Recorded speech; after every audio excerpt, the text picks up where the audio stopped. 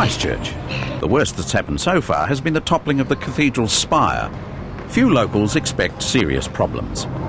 But Christchurch does have a fatal flaw. It sits on a soft, shaky sponge of river stones and silt half a kilometre deep. In any decent quake, the garden city will shake like a leaf. And that's not all. Scientists have discovered many earthquake fault lines. Any of these could cause huge earthquakes, but overshadowing all of these is an immense superfault further back within the Southern Alps. This alpine fault runs from Fiordland to the top of the South Island. Quakes on the alpine fault occur close to the surface. That makes them extremely dangerous. Uh, probably equivalent to about a magnitude 8 earthquake. Is going to rupture lengths certainly 100 kilometres and perhaps up to 400 kilometres long. Nobody has suffered such an unimaginable quake before. Several probably magnitude 7.5 events for, a, for a total magnitude around 8 within about a minute. Christchurch and Wellington will be relentlessly shaken. And there's the possible domino effect, kicking in fault lines from Dunedin to Gisborne. It may trigger other large events within the following years in the North Island shear belt or the North Island faults.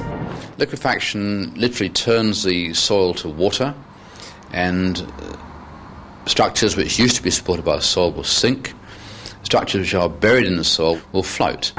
When soils liquefy, sewers and drains come apart, roads break up, and buildings sink or tip over.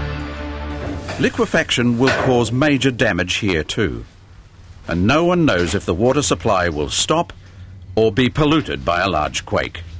Christchurch has got quite a high susceptibility to liquefaction, especially in the uh, eastern part of the city. And how many breaks do you expect?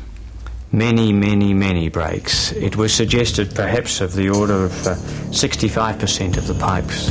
While new plastic pipes should cope with the shaking, half are old, made of earthenware clay. These will pull apart and block up. Raw sewage will spill onto properties and into streams.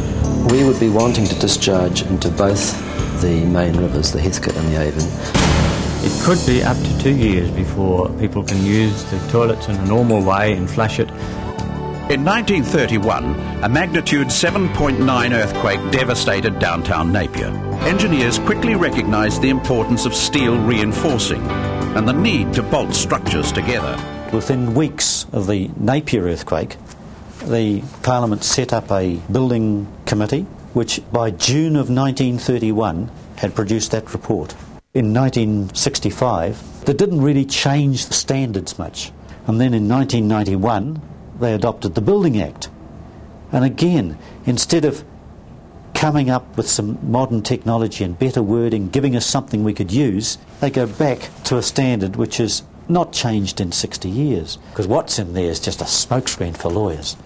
So, what does Brian Bluck think of his own patch?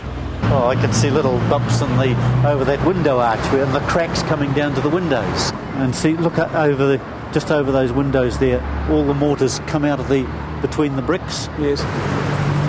And all along the top there, it's not in a very good state. So, if we serve notice, we can only ever get them to come up to half of 1965. Half. Yes, it's certainly making sure that those parapets won't drop on you and I when we're on the street. But it's not going to make sure you've got a building the day after the earthquake.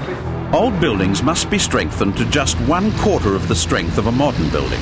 That won't help much in a big earthquake. There are hundreds of old buildings which haven't been strengthened at all. But over the road, we've got a building where they've started to do the strengthening. They've put some reinforced concrete frames in the bottom. The parapet has come off the top. They're spending the money on structures, whereas over behind us, we've put paint on the building, some lovely weeds growing in the parapet. All they're doing is ruining the mortar and making sure that the bricks are just an amorphous collection of bricks.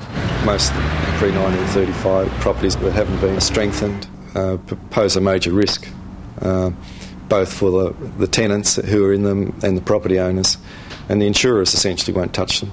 And this is where we come to the what was the old uh, DIC building. Now there have been several alterations in the last few years, and those green columns at the ground floor there are much more substantial than they were, and there's a whole framing system. Today, there's a strong interest in restoring historic buildings. Are they a big risk? Well, really, your heritage list to be quite cruel, defines most of your earthquake-prone buildings.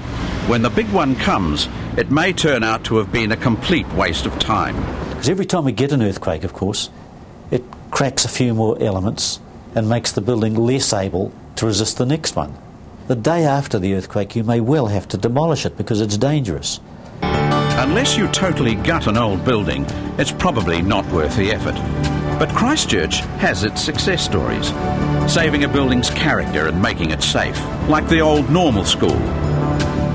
The University of Canterbury Library has been shown to be a typical building of the 1970s. The upgrade on it, which is being considered now, would be to put in more walls to make the structure symmetrical and also to prevent the likelihood of any column failure. Why? Well, I, I believe that as a, a, building owner, we have a moral responsibility, particularly in, in, a library building, for example, which is occupied by hundreds and hundreds of people each day. Why should you consider it morally and yet other people don't? Well, it's a question of money, I suppose. Christchurch Women's Hospital has another building with a shaky future. Research here turned up some alarming results. The Christchurch Women's site was by far the, um, if I can use the word, worst amplification, and they were recording something like almost 20 times the maximum degree of movement there than there were in the Port Hills. The figure is based on small earthquakes recorded in the nurse's home basement. The impact of a big earthquake could be somewhat less because of the dampening effect of loose soil. But the shaking will be at least four or five times greater than on hard rock. The, the results for the ground shaking, does that concern you? Well, I, I think because they are very aware of it, uh, in that sense, I'm not concerned because they, they, they know the problem exists and they're working for ways to solve it. Well, it's still of concern. It's quite clear that the Christchurch Women's site is, and the, the immediate area, is going to be susceptible to um, very pronounced shaking. A number of things need to be wrong for a building to collapse its age and design, the intensity and direction of the earthquake, and the soils below. Soft soil can be bad, but if the soil is also the wrong depth, its destroying effect can be far worse. Usually a building moves at a different speed to the ground it sits on. But if the soil's depth means both vibrate together, the shaking can be incredible. This extreme shaking happens at the resonant frequency. If the nurse's home turned out to be a resonant frequency to the soil, what could happen?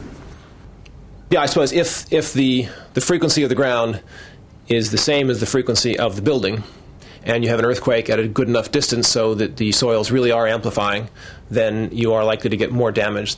Have you got a moral obligation here to warn? Well, I certainly, I wouldn't, uh, if I, I wouldn't hide information. What frequency does it reveal? So normally you would be looking at uh, perhaps a, a five or six story building. It's going to be subjected to very severe shaking.